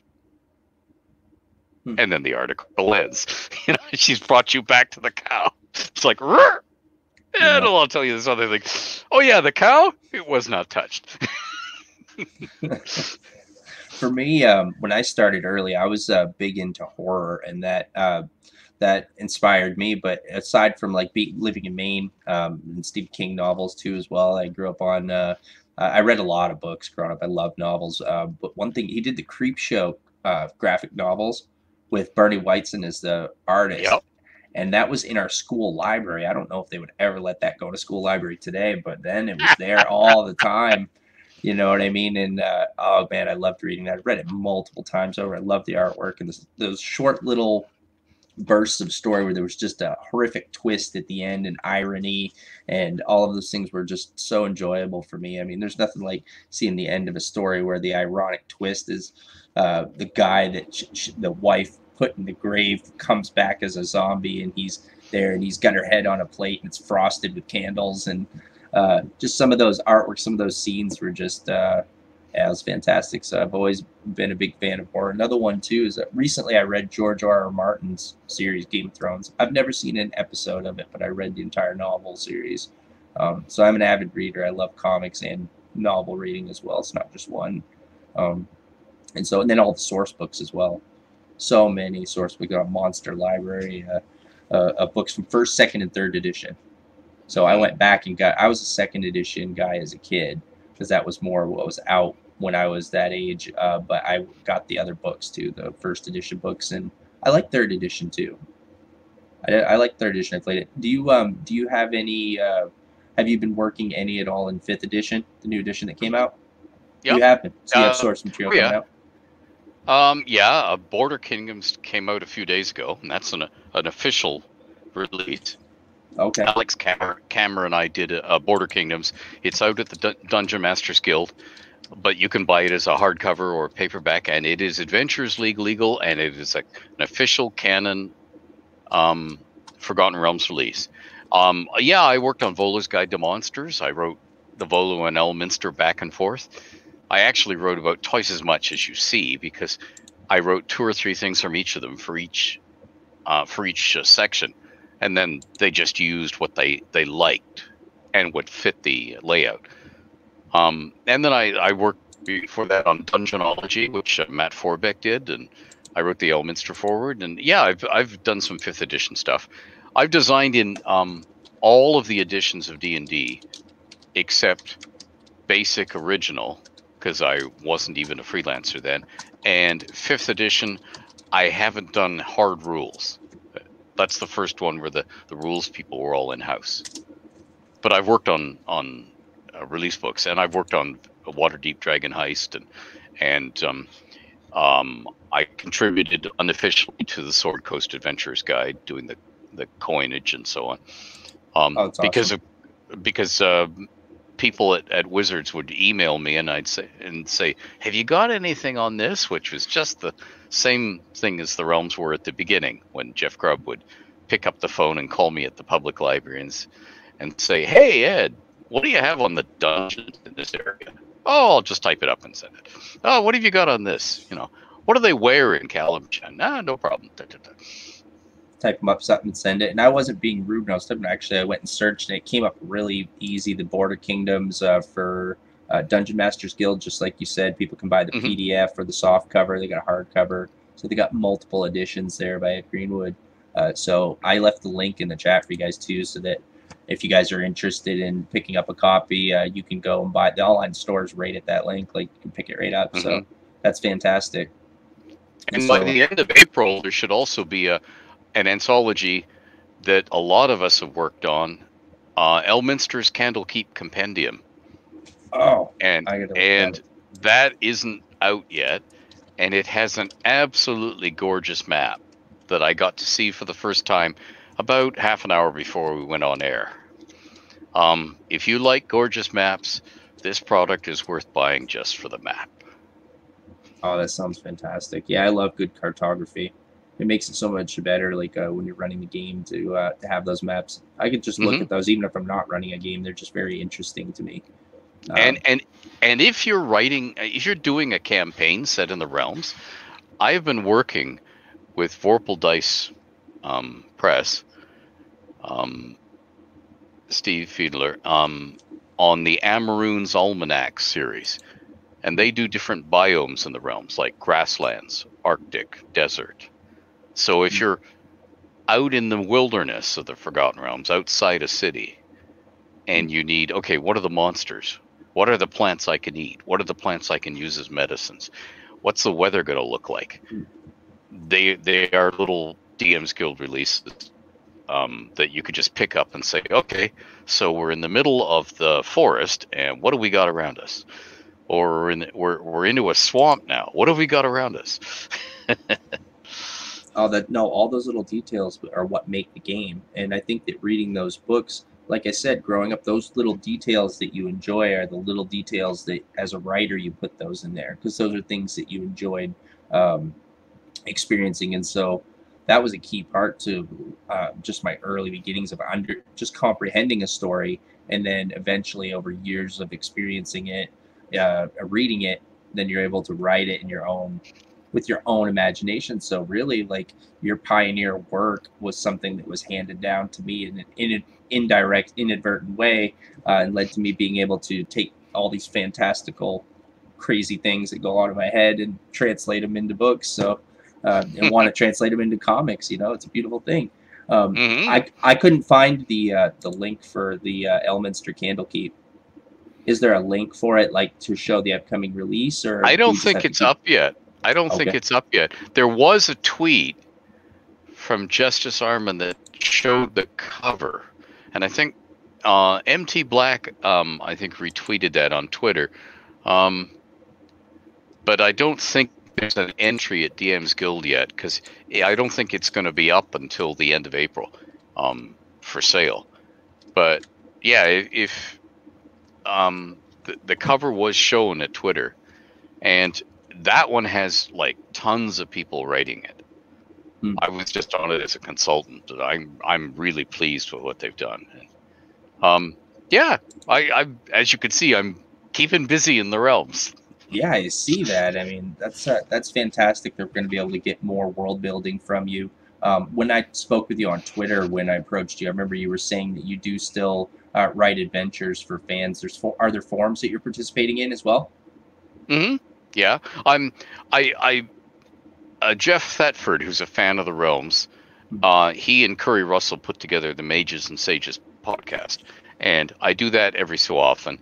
And George Krashos and Eric Boyd, who are secret lore lords of the realms and have spent their lives explaining away inconsistencies. And they both worked on the grand history of the realms and um, the Lost Empires of Faerûn, and and uh, Eric did uh, the third edition um, Waterdeep City of Splendors book and collaborated with me on Serpent Kingdoms and so on. Um, we get together and talk realms, and I found it. Which one of these is the uh, is the one? And there's one on Reddit. There's the forums, and then there's uh, Mages and Sages at uh, forum.candlekeep.com. Candlekeep forum, and then there's very soon sageadvice.eu. Oh no, that's different. Sage Advice collects all of our Twitter responses from everybody. Oh, um, this one should probably say major. Yeah, it's probably the Reddit one. Well, wait a minute. Um, yeah, it, Mages and Sages is on YouTube, but there is a Reddit group that discusses it. Yeah. Oh, there's okay. Mages and Sages podcast. And I'll just look it up on YouTube and see if. uh Yeah. See if that uh that gets me closer. Let's see. Yeah, so that people can subscribe. Absolutely, people are going to want to go. See videos, interview with old mage on YouTube. The preview. Yeah, Mages and Sages, fans of Ed Greenwood um, YouTube channel. I see it here. Oh, I see and, it right there. Yeah, there we are. I'm gonna and, put that. And, and if those those of you who want to hear my phone sex voice, there's a little thing there that says Mages and Sages Fireside promo. I didn't write the script for that. Curry did, but it it is a um a Barry White lives. okay. Well, you guys wanted some voiceover work, so there you go. you guys asked for it, you got it, and then some. oh, Ed cut out. Oh, oh, agency the podcast. Uh, he'll be back. He's got the link if he needs me to send you a little bit. I think he uh, might have had a bad connection cut out. But what I'm going to do is uh, give you guys the link uh, for that podcast. You guys may have searched and already found it, but I just want to put the link up so that people can. And I'll check with him in a second. He's got the link, so if he wants to come back in, he can. Um, but Ed's been great. Uh, this has been fantastic, and to meet one of my childhood heroes, like it's amazing, and uh, somebody who inspired me to uh, to write. He's back. There we go. Hey Ed, go ahead. Say, are you muted? Yeah, it looks like. There we oh, go. you're good. Fantastic. Yeah, I told Power cut. I told them all that you cast a teleportation spell uh, and you always do that at the end of your po- podcast. It went terribly wrong. So I've got the, the entire audience looking in their closet for you right now and uh, hoping that you turn up. But you turned up here, so I, I don't look good in fishnets anymore. Even if you take the fish out of them, I just don't look good anymore. So I'm not probably not in your closet. yeah, we were talking about that. If it if it comes that I'm not desperate for subs just yet, but for the next time when you come on, just keep the fishnet handy. If you if you could please. If we have to go that right, you know, it's get towards the end of the series and you're worried about getting canceled. Sometimes you just got to throw caution to the wind, you know. No, oh, I don't Hey, all so. right. no, that was fantastic. No, that was fantastic. Uh, Yeah, that's I'm great. not wearing any tassels. Sorry. It's okay. don't worry, we don't have a budget for that. I'll, but I'll Oh, let you know if I'll let you know if we're able to uh, upscale and, and make some stuff happen. Cool. Yes, yes. I live out in rural areas. If people want to wear fascinators, they have to shoot a bird, and it falls down, and they stick it on their dead bird on their head, and they have a fascinator. that that's the sort of budget we do around here. I think we're remote too. We're kind of like uh, it sounds like we're at rural, like you said. Well, honestly, like I'm out in the sticks. I mean, my town is uh, like the the the town I live in is named after the woods. So, so that's the, Town. sticks, you know. You live in a town. Yes. Wow. I live in a village. I would like to call it a village. I think they call it a town. I want to say they call it. Uh, I don't. Yeah, I don't know. I mean, we're uh, let's call it woodland. So if you want to know what the sticks are like, then you know, you how how do you feel about the city compared to living in the rural area? Well, I grew up in a in Canada's largest city, Toronto, and um, it, for those of you who are keeping score, Toronto is a little larger than Chicago and smaller than LA. Okay, Hmm. And it feels like Chicago because it's on a on a lakefront, and and I grew up in in a large city, and the house I grew up in, which was a modest corner house in suburbia, um, the, the which my parents bought when it was brand new, I would probably have to have around nine or ten million dollars to buy it at Mm. current market prices. And because I work in libraries and I write books, I will never have nine or ten million dollars together in one place. So I now live in the country, um, where I can have four and a half acres with a woodlot. For yeah, you know, yeah, you know, that's right. I have my own barn and I have enough yard that I can put shipping containers full of books in it whatever I want to. I just say, yeah, we'll we'll cover that bit of yard. Oh, that's fantastic. I can't imagine. You said a woodlot too. I can't imagine you outside uh, splitting wood. But now that you say, you know, at first, but now that you say it, oh yeah, I could see you out there with the splitting ball getting it done. Oh, yeah. Absolutely. Yeah. yep. Uh, I'm not love it. allowed to fire up the wood stove, or it it cancels the insurance for my house. But Yeah. we used to regularly uh, uh, heat with wood here when I first moved out here 30 years ago, and It's nice yes, heat, I- isn't it? Yeah, and I used to grew- cut all my own trees and carry them through the woods. I Hmm. always used just a um a sweet saw, um bow Hmm. saw, and and an axe because there were always little kids, not mine, playing in the woods. Yeah. And if you used a chainsaw, you couldn't hear if a little kid was coming up behind you, and then you, if you felled the tree on top of them, it would be just too bad. But Yeah. if you're if you're doing it by hand, you can always hear when people are moving through the woods. I mean, it would be They don't- tragic, but it would make a great story. You know, splat. You know, Uh, excuse me, I squished your kid. be like George of the Jungle. You know. Yeah.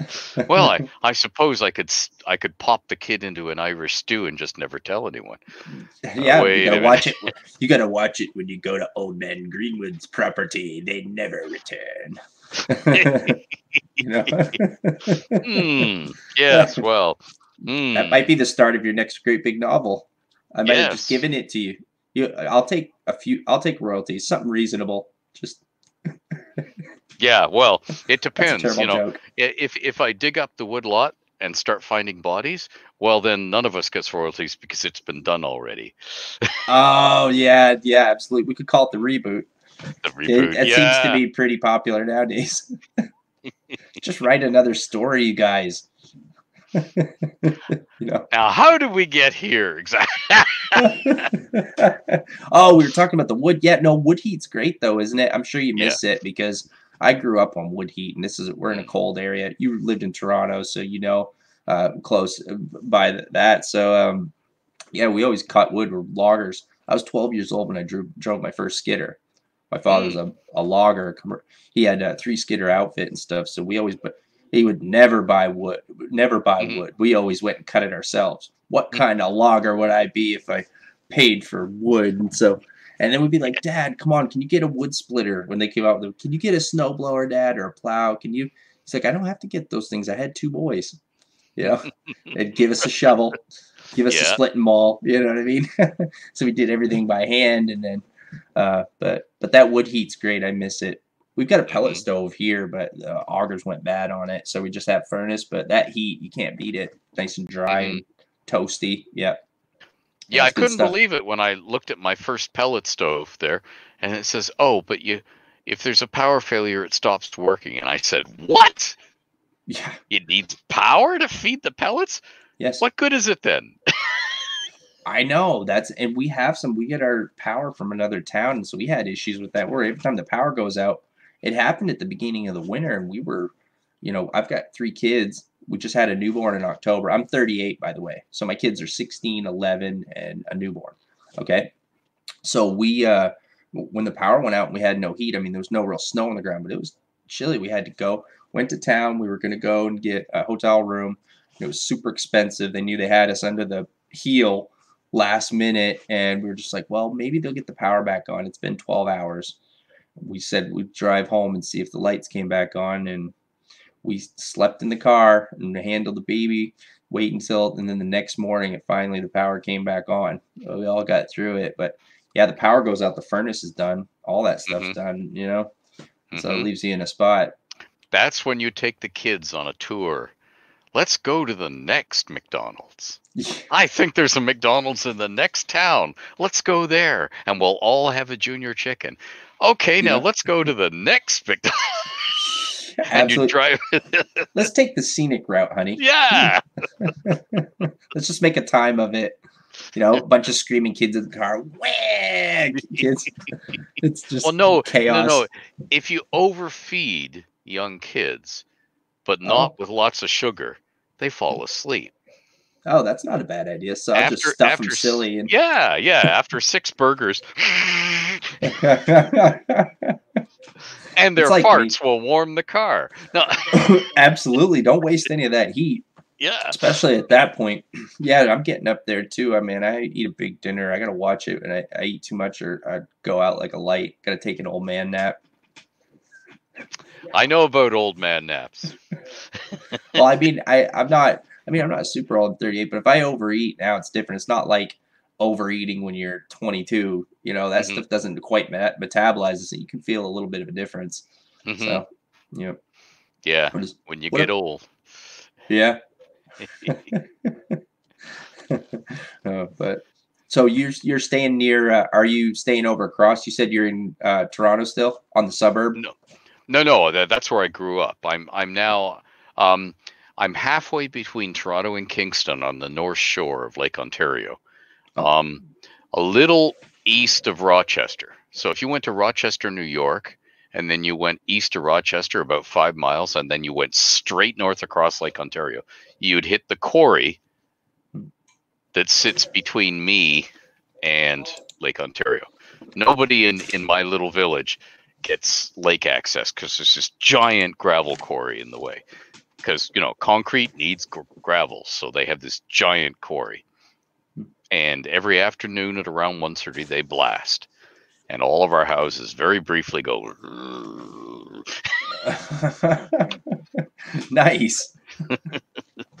That's great. That's like when you see one of those sitcoms and uh, you go in to buy the apartment. You're like, hey, why is this apartment so cheap? And the plane flies over. You mean? Yeah. Is it really that heavy or what? Uh, no, it's a deep rolling boom. But um, now there are houses in this village right next to the railway tracks Hmm. that you do not want to use the plate rails because you put all your plates on the railing and a train goes past and all your china plates jump off the railing and hit you in the head. Yeah. They're that close to it. They're still using trains. Yeah, I noticed. Oh, we, yeah.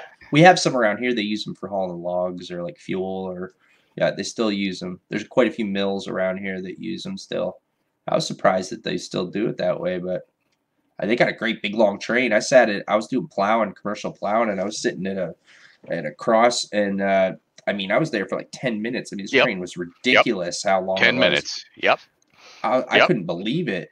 That trail, that train was a mile long. I was like, Jesus. Well, yeah. Um, now that we all have long haul trucks, the railways that used to carry everything, they carry bulk goods. So that you you harness together as many cars as your locomotive will pull, and Mm. ten minutes later, the train is finished passing. yeah, I was stuck there. I couldn't believe it. And we were on a time crunch trying to get through a plow in there a couple towns over. And I'm sitting there at the stop, uh, the stop there for the cross. I'm like, man, well, this will be over quick. That's all right. I'll, it'll be, it'll be good. And uh, like a mile later, like just hmm fuel tankers and logs and fuel. And that's when you carry one of those little tape recorders. Well, nowadays people have cell phones, but I'm old school. So Yeah. my phone, my cell phone is a phone. Mm. That's it. No text, nothing. But I mean, nowadays you'd use your smartphone. But in the old days, you'd have one of those little executive uh, tape recorders, and you click it on, and you you write a story while the train's going past, and you Mm. tell yourself all the cool scenes. You could do an entire issue of a comic book before the train is rolled past. Yeah, yeah, absolutely. I see that in the movies now. I know where that comes from. Yeah, they keep a little tape recorder to. I'd have a little pad. Have one of those little pads in your pocket. Flip it open, like a detective. write yes, exactly. Well, that, that, clues in there. that's where Arnold Schwarzenegger is saying, "Oh, they had to catch a train." You have to catch a train back to the Yeah. chopper. Yeah, yeah, like that. Yeah, I yeah. was big into those eighty act. What's your fa- favorite '80s action movie? Mm, that's a toughie. Yeah. True Lies, I think. Oh, I remember. Yeah, Arnold Schwarzenegger was very Yeah, good, because it's a hoot. It's got so much fun stuff in it. and it had Jamie um, Lee Curtis in it. Yeah, and and if we go back further than that, my favorite ones would be uh, "Kiss the Girls and Make Them Die." That's probably before my time. You mean? I was born in '81, so Okay. Oh yeah. Okay. Um, and there used to be this great TV series with George Peppard on it called Banacek, Hmm. and Banacek was all um, locked room mysteries or mysterious disappearances, like Hmm. an airplane disappears from an airfield, or um, all these really expensive sculptures vanish from a sealed art gallery, and the solution always had a reenactment as he told everybody how it had happened and they do flashbacks. So you'd actually see the crime being committed. It was really cool Oh, that sounds fantastic. Yeah, I've always liked mystery. Uh, My wife and I also watch a lot of those. Unso- she watches a lot of unsolved mystery Mhm. documentaries or those kind of things, uh, and so uh, so they're very cool. My I'd have to say my favorite action. But obviously, we're talking about Arnold Schwarzenegger was very good, and I liked. Uh, I don't know if it's considered more of a a, a horror than an action. movie. I always like Predator was a classic. The original with Schwarzenegger, and I think that goes back to me talking about things being dark and having a scary type of villain or opposition. Um, but another one, geez, oh, there's so many good ones. He the man who would be king if you, if you Yeah. want to go away from modern times the man who would be king was sean connery and michael caine and christopher plummer playing rudyard kipling Oh yeah, that's a those are great actors. yeah Yep. Oh yeah, there are there are lots of there are lots of great movies out there but hey we have to write great stories so that people will forget those movies and pay attention to our stories that's right. Yeah, that's right. The train keeps on rolling, right? And- yeah absolutely. We do need new ideas. I mean, those things are what you know. It's not a those things inspire us, and that's got to be passed on to the next generation. So. You know, Mhm. it could be you. It could be anybody who comes Yeah. up with that next great story. And And I would Um, even say if if we if we want to, uh, if we want to count it as an adventure movie, The Princess Bride. There's an adventure movie for you. I don't know, man. Uh, I don't know if that's my cup of tea, but, but you never know. How much money is in writing stuff like that? That might change my writing. mind. Writing the scripts, eighty grand. That sounds A. Hollywood script is eighty grand. Ooh, that's I could do a lot with eighty grand. hmm Hmm. There you go. Now, Yeah. if you can write, if you can write ten of them in a row, eight hundred thousand dollars. Man, that You'll be fantastic. rich beyond the green of avarice. You'll be able to uh, afford new underwear. Yeah. well, yeah, you know, you're gonna have to buy some new underwear if that first film critic there you cut- go. gets at you, and you you're trying to scramble to get the next one. Yeah, the first one's gonna be a success. As Stan Lee once said to me, "Oh, hey, you're writing for us. You can now afford wheels for that car." I, oh, that's good. and I said, "Stan, can I afford four of them?" He says, "You need five, kid. The steering wheel is the fifth one." Oh, nice. that's great. He says, "You- "He says, you young whippersnappers, you know, you always forget the steering wheel. Five. Yeah. Well, wouldn't that be Oh, terrible? That sounds like something I'd do. Is I'd be like, oh, I got four wheels, I'm ready to go. Jump in, start it up, not be able to steer. Oops. Yeah, absolutely no way to steer. Just punch it right to the floor. Let's do it. Ready, set, here I come. Yep. But that's great. Hey, I appreciate it, and Uh, it's getting uh, we're just about at midnight. I really appreciate your time. Uh, thank you so much. Uh, we have recurring guests, and um, hopefully, uh, if my charm spell works next time, we'll have to uh, go ahead and cast that and get you over here again. Sure. Yeah, and I'm happy to talk about anything. We can talk about writing. We can talk about comics. We can talk about anything you want to talk about. Oh, I'm, I'm sitting great. down. It's great.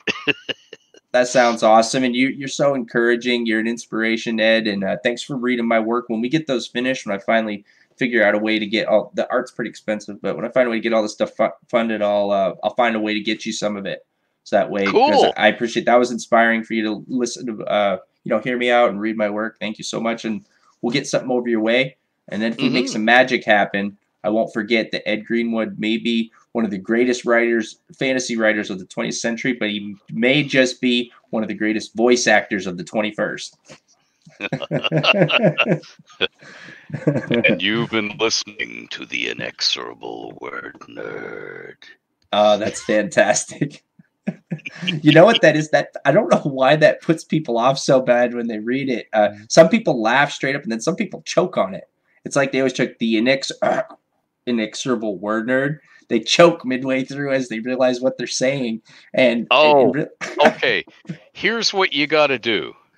You you've got to pose like Thanos, as if you're going to snap your the glove. fingers, and then say, "I'm inexorable." I do. I need a catchphrase, like an evil catchphrase of some kind, like "Listen to me now. I am inexorable," and then snap my fingers. there you go. Yeah. destroy it. destroy everybody. Yeah, no, uh, they they get put taken back for it, but ult- like by it, but ultimately the word nerd part is uh, being an aficionado for words. Um, I've always loved them, and when I it was a great moment when I realized that the written and read word is what I wanted to do. I wanted that that type of uh, expression, and the inexorable part is really just trying to punch through and get that start. You have to be inexorable. You have to not quit. You have to have thick skin you have to be willing to take criticism you have to be willing to give and take and uh, take chances and there's just so much that comes along with it and, and inexorable is my favorite word i have to say probably out of every yeah it's my favorite word i love Mhm. that there's so it entails so many things that are that are uh that you need so yeah you need that push and Look for me at sunrise on the third day. that's so good yeah we're definitely have to get you in on that man you you were good yeah you are good we're gonna do it we'll find a good role for you if we get to that point okay Cool. Thank you.